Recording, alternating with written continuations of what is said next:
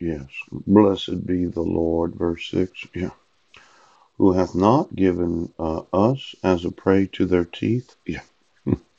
Our soul is escaped as a bird out of the snare of the fowlers. The snare is broken and we are escaped. Oh. You know, as someone that's been to court numerous times over the last, well, really five years, mhm, I've had this problem of somebody trying to snare me. Now, let's say you have the evidence, right, that I wasn't in Sequim, Washington on December 31st, and you decided to not admit the evidence. Instead, uh, I was going to have my soul mhm, snared by the fowlers. Yes. mhm. Now, what happened was you decided to use mental health evaluations to say I was incompetent. Yeah. and then I send you an email where I wanted to use the court system of the United States to sue you. Yeah. For the removal of both of those verdicts where I was too incompetent to stand trial. Mm. Now, when I think about this official view of those that um, are mandatory reporters, yeah.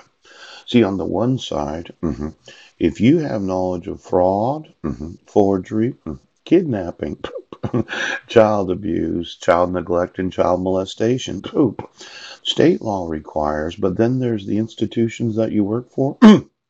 Let's say you work for a school district. Oh, you're a civil rights coordinator and you said, Well, take me off the email list? Yes. I'm not only going to sue you for not doing what you had to do as a mandatory reporter. Yes. I'm going to sue you for violating the official view right now. Oops. Look at all those new lawsuits we have today. Now, for any school district of the United States that has knowledge, yes, of the issuance of protection orders where there is no signature of the petitioner, yes, where the ex officio Superior Court clerk's signature is a forgery, yeah. where there's a forgery, yes, of the court commissioner, right. where there's no due process to myself, oh, and then you snared me multiple times and was going to have me put into a mental institution where you were going to administer psychotropic medication against my will.